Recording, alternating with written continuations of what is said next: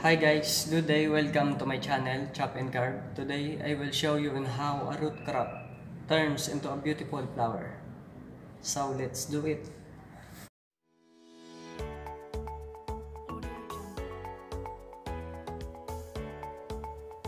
First step. Peel the turnip so it is easy for us to input our desired design.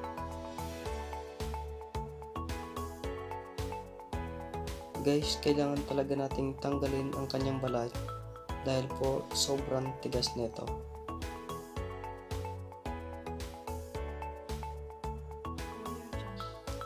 For the next step, we have to divide this turnip into two parts. The first half is for the first flower. Guys, take note. Kung paano kayo humawak ng ballpen, dapat ganun din kayo humawak ng knife. Then, cut the first petal and remove the flesh behind.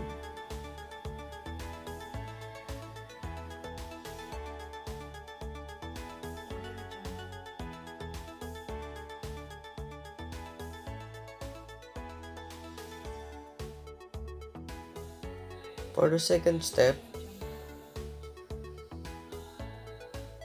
overlapping.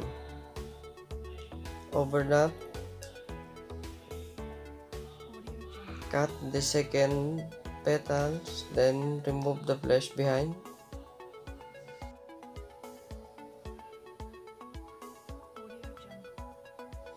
Guys, for the third petals, cut the petals and remove the flesh behind then guys uh, repeat the same process for the fourth petals. Overlap the third petals. Then cut the flesh behind.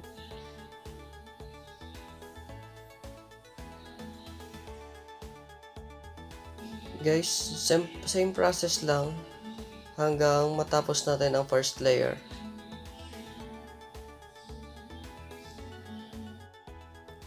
Guys, sa pagkat ng petals, kailangan isang stroke lang para mas malinis ang dinaanan ng ating knife.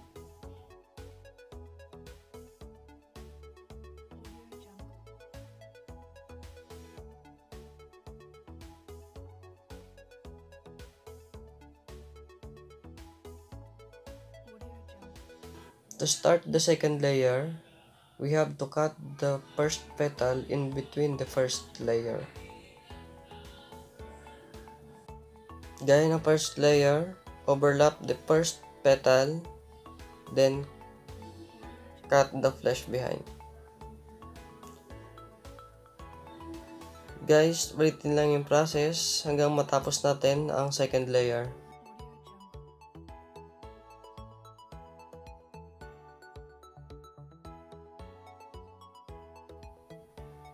Guys, for the third layer, uh, same process, Start the first petal in between the second layer.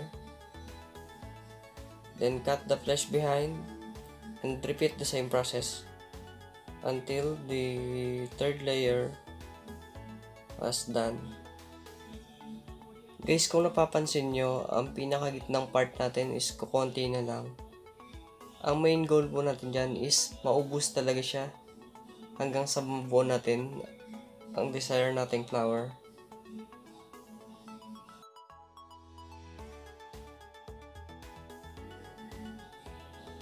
Guys, this is the first half of our turnip. The white rose. Tingnan nyo naman kung gaano kaganda ang ating ginawa. Guys, for the other half,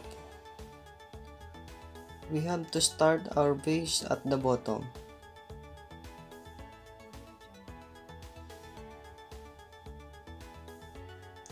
As you can see eh. the base is not visible. To make it visible we have to cut a flesh eh, from inside the circle.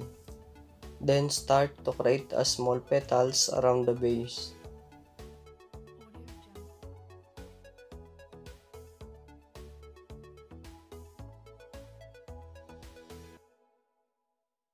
When you are done on the small petals, Now you have to remove the flesh behind. And make it sure that you will not damage the small petals.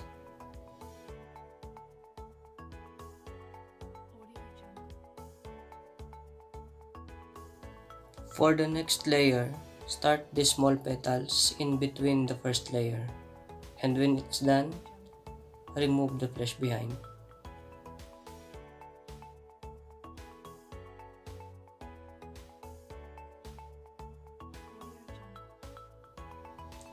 And for the third layer, repeat the same process until it's done.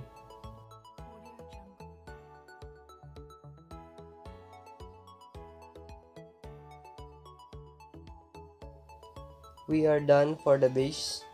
To make our flower more bigger and more beautiful, now we have to start making petals outside the base. Guys, please don't forget to like, share, and subscribe to my channel for more design. As we can see, this design is very easy because from the base up to the third layer until it's done is the same process.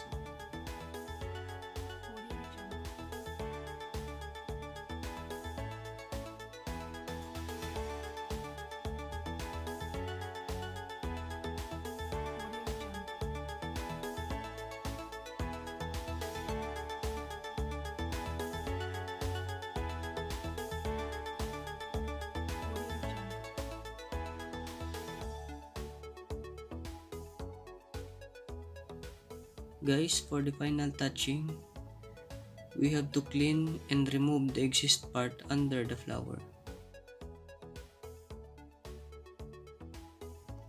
Guys, lately we have one piece of turnip, but now take a look at these two beautiful flowers.